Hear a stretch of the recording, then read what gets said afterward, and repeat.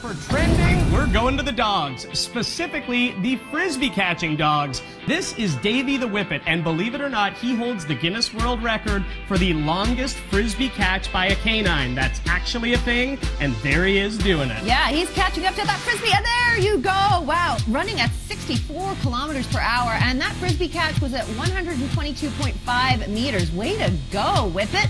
It's amazing. So when Davy's owner originally noticed that he had uh, an acumen for this sort of thing, she introduced her him the dog to Robert McLeod, who is a world champion frisbee thrower. There he is with Davy doing what they do best. And that's right. He can throw frisbees in the air for a long period of time. Uh, he basically holds the record 10.56 seconds for a frisbee thrown and caught by a dog. Uh, you're about to see that happen right now. Let's see. Let's see Davy the Whippet.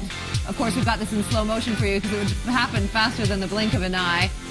There you go. And they are submitting that Amazing. in for a new world record. I can't even catch a frisbee from a few feet away. Neither can I. No.